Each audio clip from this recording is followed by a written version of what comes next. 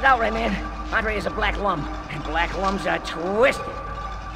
He may even force Globox to drink plum juice.